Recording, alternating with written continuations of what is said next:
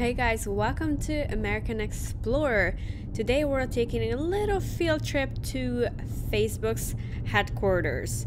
This is located in Menlo Park, California, not too far from San Francisco, Simi Valley, so the area. What you see around here is the houses about two, three miles away from Facebook the houses here, oh, the price is ridiculously high. Just a little house you see on the left, it costs about between 2 to 3 million and they have ridiculously high property taxes. So, yeah, but um the area is nice, a lot of family, but when you look at the cars parked outside, not all of the cars are nice like they're not very expensive looking. But the area is nice it's clean lots of greens. So i guess a lot of the people who work at facebook they live here. Anyways this is facebook's new headquarters they had one before which was too small so they relocated to Menlo Park which also houses people. So they have uh, an area where people actually live, and there are 2,800 people who live there. But this is during COVID time, so the whole area was empty. As you can see on the right side, there's that thumbs up Facebook emoji, and this is where we enter the headquarters. So that is the first building. This is located on a nine acre field and uh, they planted 400 trees all around the place.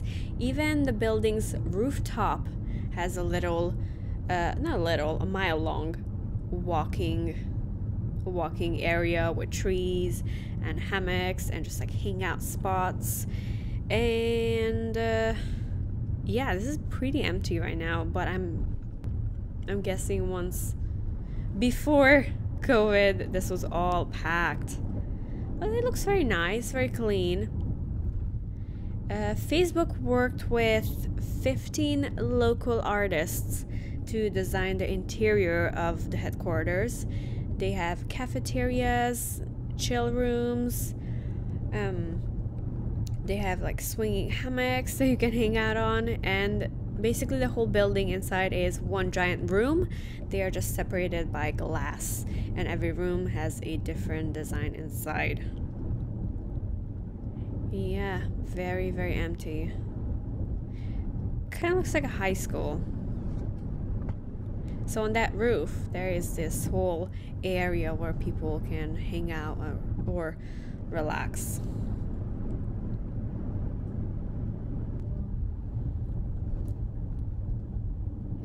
lots of security cameras but it is open to the public to drive through as you can see but there was no one here. A few cars i'm guessing those are cleaners or maintenance but right now everyone is working from home. And there's just this one road that goes all around the building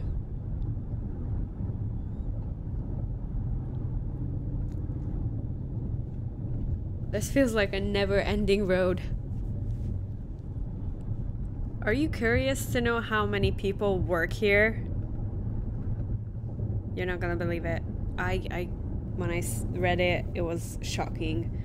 45,000 people work just at this location. I'm not sure where else they have actual offices, but I'm but I'm guessing it's in every big city around the world, but in this one location, 45,000 people. Uh, imagine remembering that many names. I'm sure no one actually remembers that many names, but uh, it's crazy. So many people. And uh, this is the exit. Yeah, so we went around it. Unfortunately, I cannot go inside. Obviously, I don't work here. But um, I wanted to show you how it looks around it. I've never seen it, so I was curious. It looks very nice. They're keeping it clean, even though there's no one there right now.